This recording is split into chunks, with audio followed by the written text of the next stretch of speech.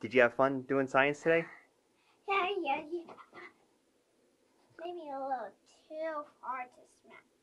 Yeah, I think that's a little too hard to smack.